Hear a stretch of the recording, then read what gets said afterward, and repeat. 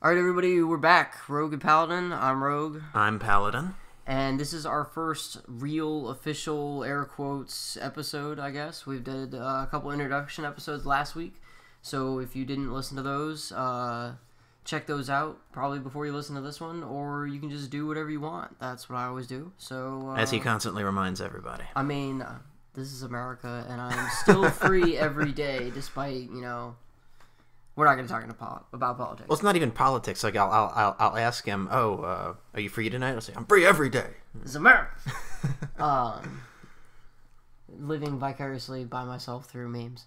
Uh, so for our first official episode, we're going to talk about uh, our first experience with D and D and how we became the rogue and paladin. And if I remember correctly, I was a paladin. The first, uh, my you first were D&D game. actually. You came you came partway through the campaign. So we went to we went to high school with this guy whose dad had been playing since the game came out back in the 70s or whatever. And he'd been DMing. He'd been DMing ever since it came out.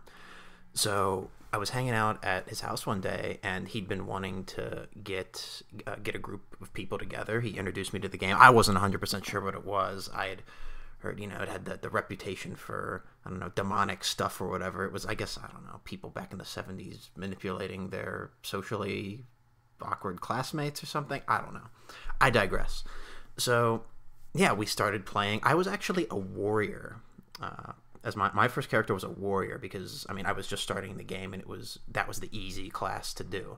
We were uh, the rules said it was two point five I think. I want to say it was three, but you might be right with two point five He kind of he kind of modified it to fit his to fit a party style. of two and a half. Yeah. He, oh yeah, it was two and a half. Uh, to begin with, we started with NPCs, and then he joined in. Uh, maybe I don't know what was it, eight hours in. Uh, he was actually they, they they would give him they would give him uh, a little bit of crap for acting more like a rogue than a paladin because the reason he was a paladin was because we needed another healer. We had a cleric NPC, but we could have used somebody with a little more you know party utility or whatever.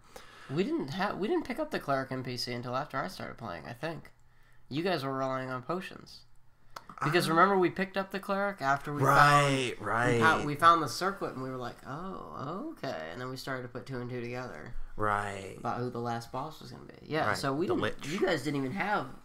You didn't even have a healer. You were all potions. You guys get drunk. Right. He was. What did he play as? I don't he, even remember honestly. was he a ma- I want to say he was a mage. was he a mage? I think he was a If mage. he was a mage, he was kind of a shit mage. I mean, I mean, yeah, we Uh, know. well- like anyone who knows the story knows who we're talking about. he. I I mentioned in the you know it was the first introductory episode about how the guy who I started playing D and D with, he used to get on my case about some of the decisions I would make. He was like, "No, you're supposed to be like lawful good, aligned, no, like any." Like, digression from any of the, the the paladin rules or whatever you're supposed to be like hardcore da, da, da. it was really quite odd i just kind of give him a blank stare look at it yeah, it was I think I was like I was like a chaotic neutral paladin. We didn't have to pick our alignment for that. we didn't role play at all it was purely combat with dice and a couple of decisions i mean you didn't we didn't make yeah, backstories or anything We didn't have we didn't have the whole LARP thing going on. Got out in the backyard or whatever.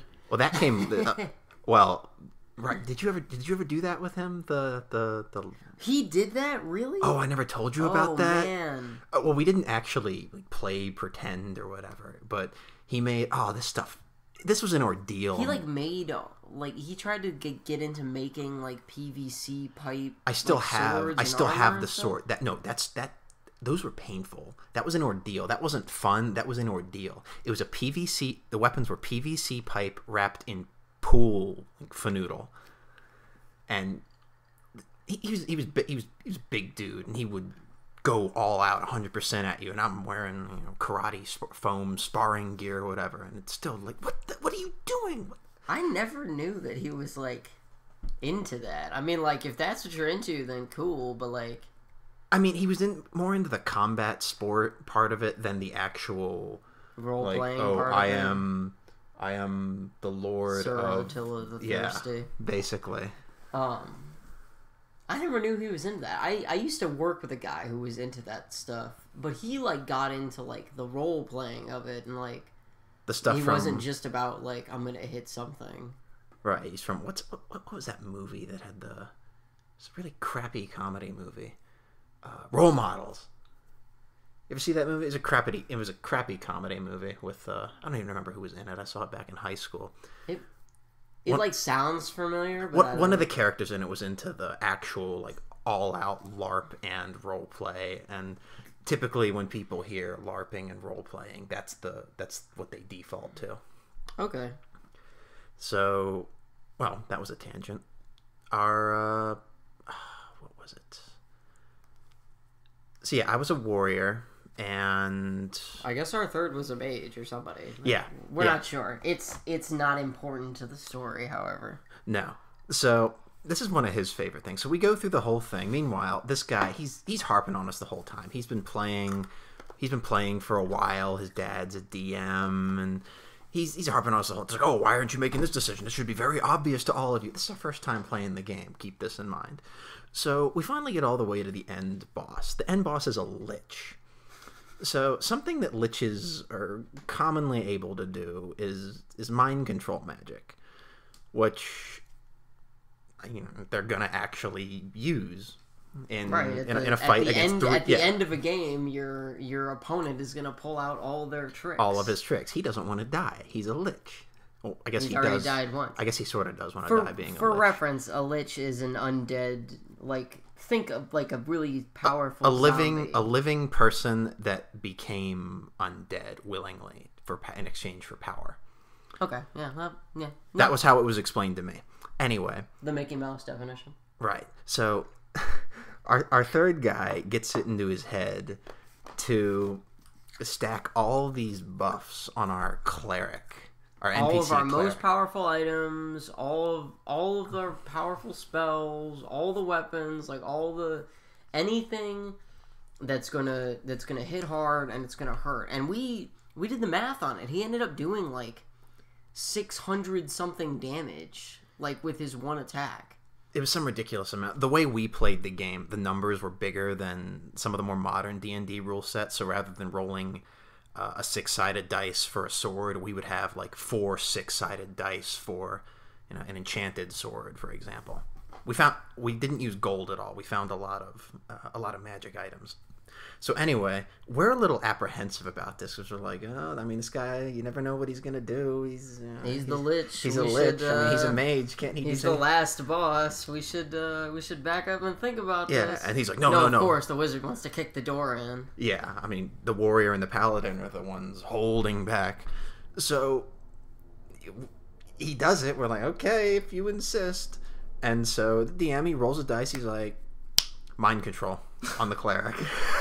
He didn't he didn't roll very high either. He rolled like a thirteen or something. yeah, He was rolling a twenty and he rolled like a thirteen or like a twelve. And mind controlled the cleric and At that- and I looked at each other and we were like, Well, well, we're fucking dead, you know, flip the table and let's uh let's get out of here. he started. He started. He started kind of arguing with the DM about the. After that, what actually Keep in mind, happened? the DM was his father, though. He's not only is he arguing with our DM, he's arguing with his own father about how unfair it is. we knew before going into the fight that we were fighting a lich. He had played D and D before. He knew from video games, reading D and D. He knew liches had mind control magic. so after, What did he think was going to happen? And then after an entire game of harping on us oh, about how Oh, stupid our decisions were, My, how the turntables have tabled, or How the tables have t- one, yes. How the tables have turned. And it was the kind of thing you could never give him any lip for after that because he would probably go into some long Psychotic rage. rant about you know it would probably get it would, he'd probably get political at some point too. He'd go for yeah D and D. Yeah, we don't hang out with this guy anymore. Obviously. I told my uh, I told my newer group uh, uh, this story or just stories about him in general. They and just looked- everybody just sort of like makes that face that you make when you're like talking about something and they're like, this sounds fake, but we know too much about humans. oh, well.